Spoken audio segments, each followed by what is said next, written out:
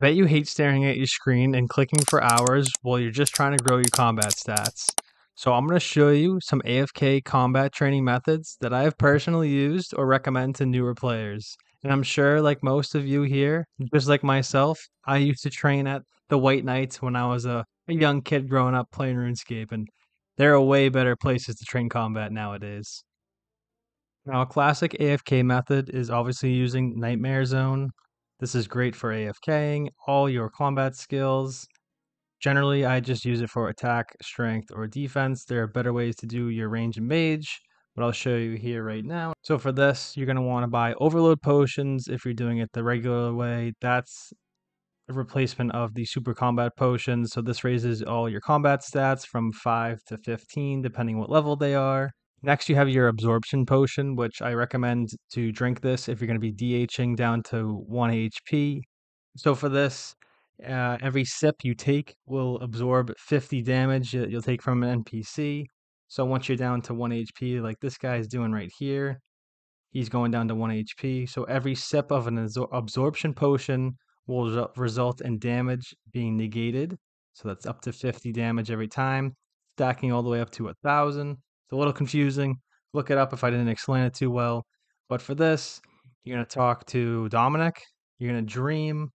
I already have mine set for melee bosses only on Rumble Hard. It's going to cost me 16,000 GP. All the bosses, there's plenty of guides out there for the bosses to select from, but those are the bosses I'm going with. Then once in here, you can drink your absorption potion or your overload. I have super combat potions. Those are the bosses I'm going to be fighting and do have high prayer. So I have a mix of strength gear and prayer gear on. So I have the proselyte on because that gives you good prayer bonus. And as you see here, the bosses are coming at my character. I just stand here, do nothing, auto retaliate on. I do have pray melee on, so that's going to give me about just a little more than seven minutes of AFK time. And you can switch combat styles. You want defense, attack, strength, what have you, and so on. Another excellent method to AFK for either melee, mage, or range is the bandit camp that any player can access. It's right here, bandit camp, right in the can in the uh, Kandarin Desert. So if players equipped a Zamorak or Saradomin item, the bandits here will be aggressive to the player indefinitely, and you will not have to move and reset the NPC aggression timer. So as you see here, this player is using Blood Barrage, so he can stay in tier for a long period of time in AFK. And as you see, I have no Zamorak or Saradomin item on me. Once I equipped it, they all become aggressive to me and will fight me indefinitely. This is a great AFK method. I do advise you to bring a lot of prayer potions, food, um, ways to heal up, such as Blood Fury or Blood Barrage, and you can AFK this for as long as you would like. Another location to grow your melee, mage, or range would be in the Fremennik provinces up here and northern end of the Keldagrim entrance. Here you can find rock crabs, which is the same as the sand crabs. They have really no defensive levels, so you can just hit on them. They'll probably never hit on you. This is a good training method for lower level players and new players. And I'm going to show you sand crabs, which is an alternative which everyone has transitioned over to killing. And in the kingdom of Kourend, you can find sand crabs right here. You see some players are AFKing them as well. So if you just come over just like the other guys, you come over to them. These guys actually have more HP. So they have 60. So 10 more. Again, you can AFK for up to 10 minutes at a time. You will need to reset because you have that NPC aggression timer up in the left hand corner. I have that because I have RuneLite active. Now for this next method, it's a little untraditional than other methods you might have seen. This is for the range method. You do want the cannon set up here with cannonballs, ranging potion, prayer potions, and you do want to come into the combat training camp. You do have to beat the biohazard quest. And as you see here, there is a player already doing this method. I'm going to hop, find a better world. All right, and as you see here, this is a pretty chill method. You just stand here with the cannon. Depending on your combat task completion, it will depend how many cannonballs you can put in here. So if you see here, my rewards, I have up to hard, so I can put up to 45 cannonballs in my cannon. Where is it? Okay, Dwarf cannon can hold 15 extra cannonballs. Great. So I can hold up to 45 cannonballs, get about 45k to 55k an hour, depending on your range level.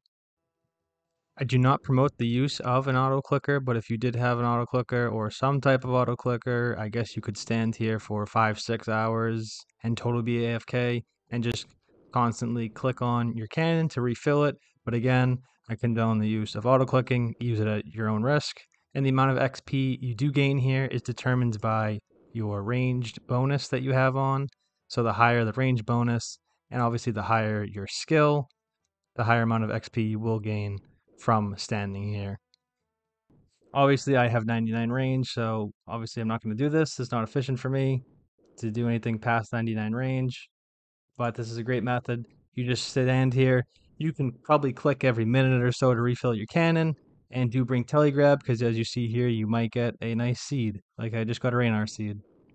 Another great spot to AFK for range, and actually melee as well, like this guy is on Fossil Island, killing the Ammonite crabs. This will be a 10 minutes of fully AFK.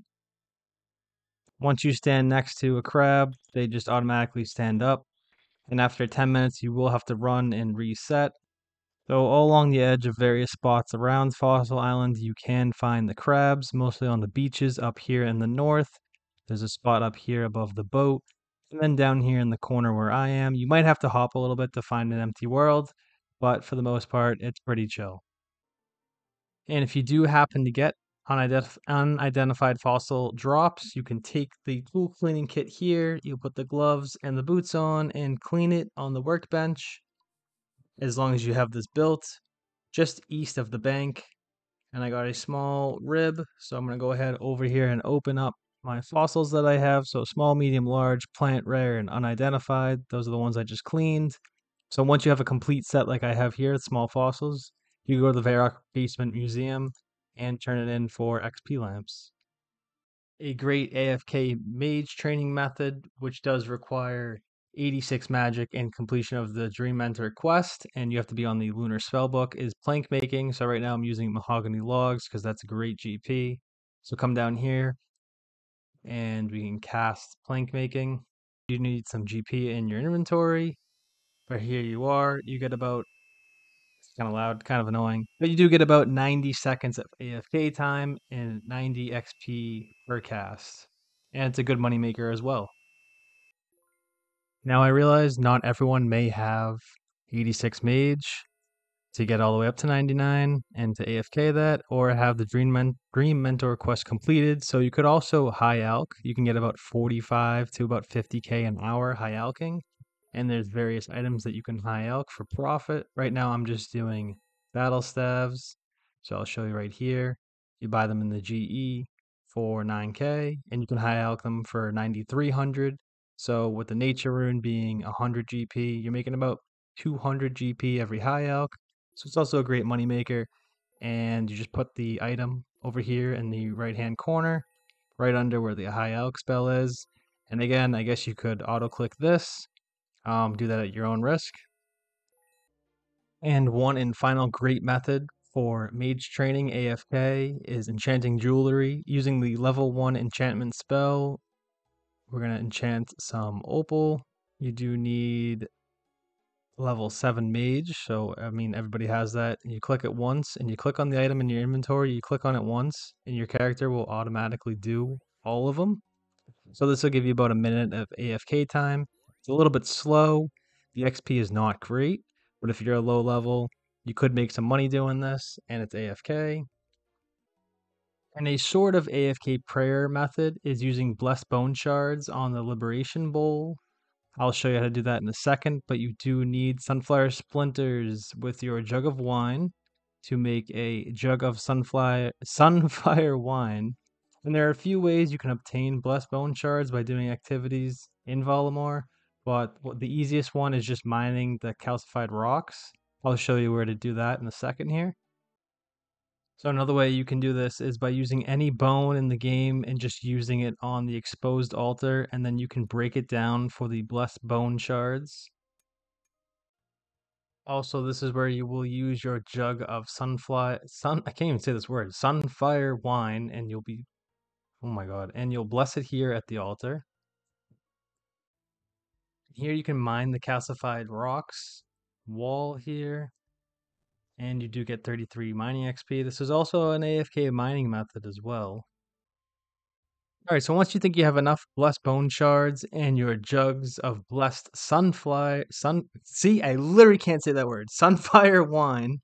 You're gonna come over here to the libation bowl, and as long as you have full prayer, and just spam click this bowl right here, and you're getting a crap ton of XP. And if you run out of prayer, no problem. There's a little altar over there. Just run up there, recharge your prayer, and do it all over again. And the combination of another great AFK method for prayer is anytime you're killing an NPC and you have the Bone Crusher or the Ash Sanctifier in your inventory and activated, you will be granted half the amount of XP as you would if you buried it normally. So as you see there, I just got 8 XP for a giant bone after killing a hill giant. And I'm about to kill a bloodveld, and this is going to give me ashes, and they will also be automatically buried for half the amount of XP. And as you see right there, 12 XP. So this is great when you're AFKing, usually in the Catacombs of Kourend. If you have the Holy Wrench on you as well, and you are burying bones, uh, some of your prayer points will be automatically restored as well. Slayer is great. It's one of my most favorite skills in the game. I'm going for 99, and it's so easily AFKable in the Catacombs of Kourend. I mean, most the NPCs here that you do get on task are just aggressive to you. So, like the Greater Demon task, a Black Demon task. So, if you just come over here and pray melee to any monster, I think they're all melee for the most part in here. And you can AFK for 10 minutes at a time before you do have to reset your timer. Again, you bring your Ash Sanctifier or your Bone Crusher for that passive um, prayer XP you'll be getting from either bones or ashes when an NPC dies. So you're going to see it again right here in a second. So there we go. 33 prayer XP. So Slayer is actually the only skill where you can do six skills at once. So if you have on a whip or a halberd or a spear or something, and you put that on shared XP, you'll be getting attack, strength, defense, and HP. And along with, you can get some prayer, and then obviously you'll be getting Slayer XP. So Slayer, you can grow six skills at once. There are tons of NPCs in the Catacombs of Kourend that are aggressive to you at all times, such as the Ankou, the Twisted Banshees, if you're killing those, along with the Deviant Spectres. So these guys are one of the only monsters in here that you have to pray mage to, and you can just stack them all up. See, I have all five of them going at me right now. 10 minute timer, and you could just sit here and AFK for 10 minutes and just make sure you're fully prayed up and potted up. Another great location to AFK Slayer is the Slayer Tower and the Swamp. Here you can kill gargoyles and they will be aggressive to you for up to 10 minutes and then you will have to run away and reset the timer I don't have a task right now, so I can't kill those, but that's also a great AFK method. Thank you all again so much for watching. If you did enjoy, do hit that subscribe button as it is the easiest way to support me, and stay tuned for part 2, a method to AFK every skill in the game.